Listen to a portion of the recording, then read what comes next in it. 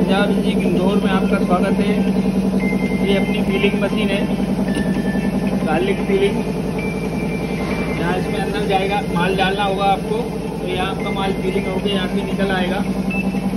ये S S में है। तीन सौ चार है फ्रूट ग्रेड है।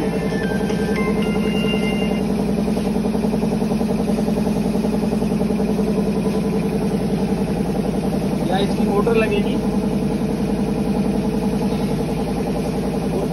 अपनी मशीन चालू हो जाएगी।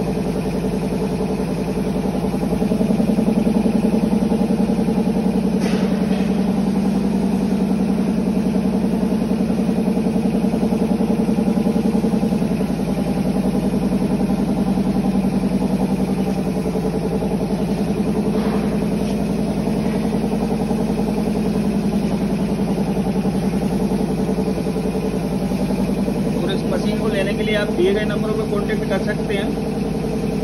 कॉन्टैक्ट करोगे तो मशीन ट्रांसपोर्ट के माध्यम से आपके घर पहुँचा दी जाएगी। धन्यवाद।